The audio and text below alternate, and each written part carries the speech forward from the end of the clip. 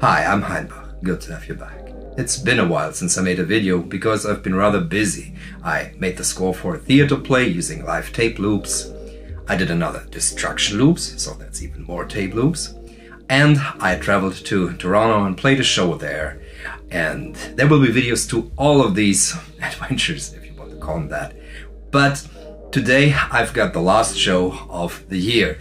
And I am rather tired after the past month of constant travel and playing. And I want to kick myself a bit. And to do that, I've completely switched up my live set. And I'm gonna play with stuff that I've never used live before together. Let's have a look at my bad, bad idea for a live set. The heart of the setup is this nuclear instrumentation modular rig. And in there is the PAR 2020, the Beast of Princeton. I made a full video on that. This is a lock-in amplifier and can do so many things. It can do bass lines, it can do melodies, and it can do crunchy sounds. It's a beautiful thing. Right next, we've got the Boxcar Integrator by Stanford Research Systems. This is basically an analog window function generator, and what I use it for is rhythm creation and as a pulse generator. Because I'm running a clock from the Seattle Armada Plumbutter, which does bass drums, some rhythms, and some harmonies, and it sends a clock to the Boxcar Averager. Now, that clock is then being taken apart by the internal clock of the Boxcar Averager, and you get all kinds of micro variations, which sounds glorious when you run those into the GenRad 1564 bandpass filter over here. You can do the classic test equipment hi-hats, and you can do yeah, you can do little plings and plongs and bass drums. There's a lot of variation to be had. And it just sounds really, really nice, I think. The Plumbutter also processes a little dictaphone over here where I've recorded some piano loops and some synthesizer loops. And they provide atmosphere, context and give the raw sound of the test equipment and the Plumbutter a bit more poetry. The last instrument in the setup is brand new and it's probably the worst idea that I'm taking it out today because I've only spent yeah, a few minutes with it today, but I really enjoy it. It's the Herbs and Stones Liquid Foam. This is an analog groovebox, a banana synthesizer, and it just sounds rather lovely and raw. And it's very simple, but that is perfect because I've got no time to learn the depths of. I haven't even checked out how this really functions. This is the Neon Egg, which is a desktop reverb and delay, and also a compressor. So this is very complex, but I just love the sound that I get by simply turning the knobs and running it on the aux of this Spirit Folio mixer. I'm using this old Spirit Folio mixer because I think it sounds very good. It can handle the levels of the test equipment very well, and it has got a really nice equalizer. So this is like, yeah, a very nice model of a cheap analog mixer that you can still get for like 70, 60 bucks or something.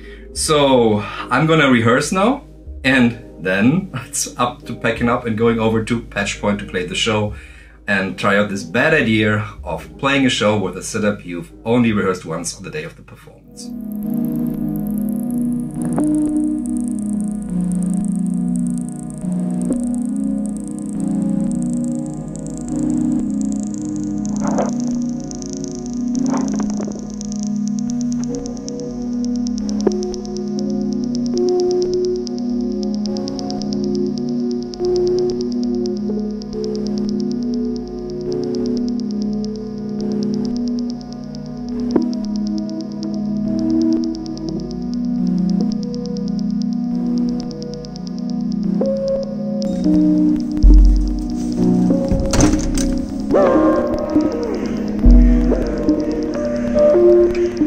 Everything is packed and I'm ready to go and I'm just waiting for the taxi, but it's the busy time in Berlin, so I'll be late.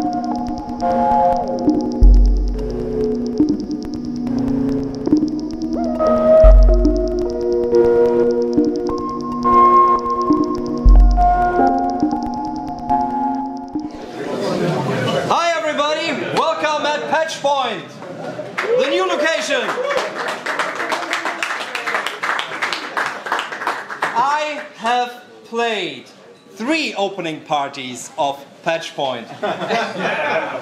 so I'm kind of the inventory right now. Um, but for me, this is rather amazing because when Darren told me that he wanted to do a modular store for banana synthesizers, like the most, oh, this way, left you can go with synthesizers, I was like, oh, oh, yeah, you sure about that? And I was having visions of him being ruined within a year. And that it didn't turn out that way is so beautiful and amazing to me. And it's all part to you being here, being part of the whole thing, buying those instruments and playing them.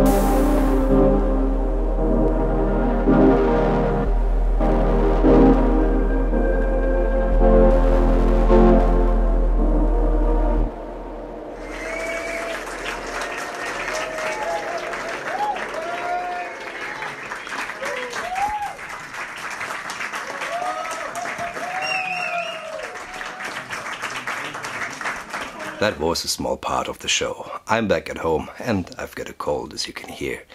But the question is was it a bad idea to do a full set with instruments and music that I hadn't played before?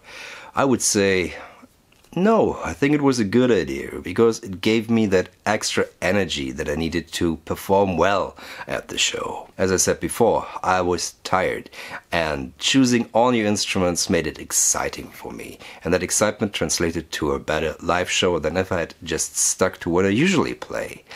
Because, yeah, it made it more dangerous and that equals fun to me when I play live. So I should be juggling knives or something? No, just making music on unknown instruments is right now enough thrill for me. I was able to put the instruments I hadn't used at all before to good use. The liquid foam added some acidy bass lines and some percussive blips, which worked really well in the whole context because there was no resonant filter in the whole setup. And this does resonate very well. I will definitely be doing a video on this. I think it's a really fun synthesizer. And so thank you to Herbs and Stones for sending me this to play with. The Neon Egg Planetarium. This is such a fun tool. It is definitely a characterful effect. I don't know how much of it is its vintage retro appearance, but I feel this is not subtle at all. This is meant to sound bold and big. And I still have to figure out all the sweet spots. There's some interesting stuff you can do by playing the reverb settings and you can pitch stuff around, which feels cool. But it's definitely now time for me to read the manual on this and try it out more. It worked well in the context and it provided space to the rather small room I was playing in. Well, at least for a concert venue, it's big for synthesizer space. Thanks Neon Egg for sending me this. I'm having fun. I realized how tired I was after checking the footage because, as you might have heard in the beginning, I forgot to plug in the microphone. And even today, I forgot to turn it on. So, this is the second time I'm recording this. So, this is typical. Tiredness equals errors but luckily not so much with music. I was able to completely tune myself to the room and the parts where I felt, ah, I need to change things up and go somewhere else or have there's something not working. I figured it out after a few minutes and I managed to, I think, do a good show in the circumstances.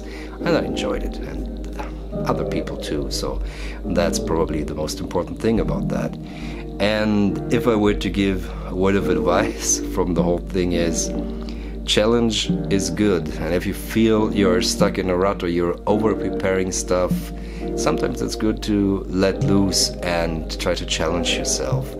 If you are sure what you want to tell, because whatever instrument I play, whatever idea I have of the setup, there's always something in myself that I want to do and want to create, and there's certain way I structure my music. So that translates to basically any instrument, I feel. Yeah, so if you get something like that, it's easy to mix up and try out new stuff in front of an audience, and that's probably the easiest way to get better at what you're doing. That's it for this video. I'll be putting up the rehearsal and the live show on the Patreon so you can listen in how it all developed and how it all sounded. And if you have any questions, do leave them in the comments below or visit the subreddit. There will be more videos soon, as soon as I've got my voice back. So, see you in the next one. Bye.